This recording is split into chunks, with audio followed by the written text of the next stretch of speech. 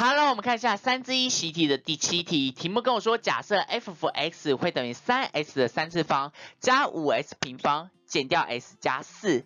另外一个多项式 g of x 会等于三 x 平方加二 x 减七。第一个小题要问我的是 f 负 x 加 g of x。第二个小题要问的是 f 负 x 减掉 g of x。那我们先复习一下，当两个多项式相加的话，只要将这两个多项式的同类项的系数相加就好了。那当两个多项式相减的话，只要将这两个多项式的同类项的系数相减就可以哦。我们有以上的观念之后，我们再回去看题目。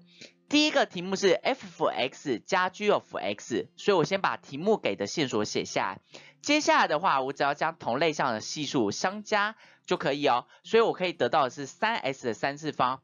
s 平方项前面的系数是五跟三，所以相加是八 s 平方。然后 s 项前面的系数是负一，然后另外一个是二，相加的话是一，所以是加 x。常数项的话是四，然后另外一个是负七，相加的话结果是负三。所以第一个两个多项式相加的结果出来是三 s 的三次方加八 s 平方加 s 减三。第二个小题是两个多项式相减，我也把一样把题目给的线索写下来。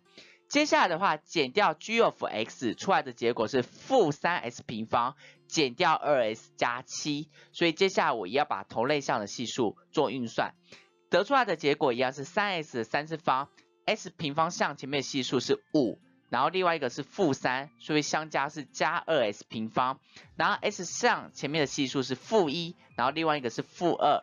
所以相加的结果是负三 x，然后加四加七会得到加十一，所以 f of x 减掉 gfx 最后的答案是三 s 的三次方加二 s 平方减掉三 s 加十一。